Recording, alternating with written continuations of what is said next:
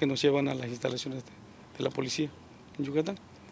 Y ahí nos golpean y nos torturan para que dejemos de llevar la revista y de estar hablando de que, de que ahí hay homicidios, de que ahí hay delincuencia, que no regresemos porque ya tenían ubicadas nuestras familias y que nos iban a matar a todos, iban a matar a nuestras familias.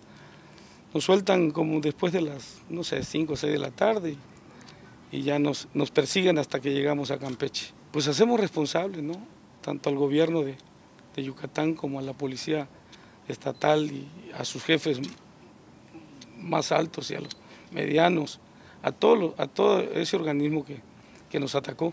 Una vez más, el gobernador de Yucatán, Rolando Zapata Bello, da de qué hablar, pues en esta ocasión, Francisco Inurreta, empresario de una revista policíaca del estado de Campeche, lo acusa de haberlo privado ilegalmente de su libertad el pasado 28 de agosto. Inurreta manifiesta que se encontraba laborando normalmente en la venta de su revista, cuando se percató que unos vehículos sin logotipos empezaron a seguirlo, obligándolo a detenerse, para posteriormente ser encapuchados, torturados y amenazados por varias horas. Allá nos percatamos que nos estaban tomando fotos, pero pues no le dimos importancia. Ya cuando estábamos sobre la avenida Isaac nos dimos cuenta que nos perseguían vehículo, dos vehículos. Pasando el, el filtro de la policía de Mérida, que está a la entrada, ahí nos volvimos a dar cuenta que ya no eran dos, sino eran más cuatro o cinco vehículos que venían tras de nosotros.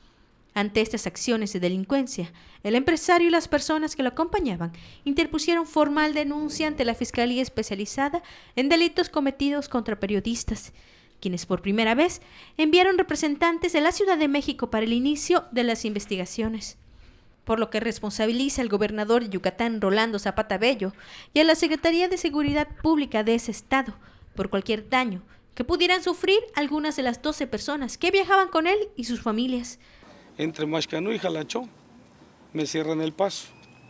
Me cierran el paso y este, me prenden luces de, los códigos de la patrulla, de un carro de los civiles que venía ahí, y me, por altavoz me indican que, que son policías y que me detenga.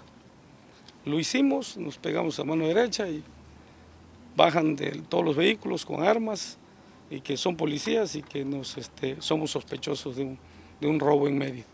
Nos inmediatamente nos tapan la cara a todos los tres y nos golpean y este, nos meten a, los, sus vehículos.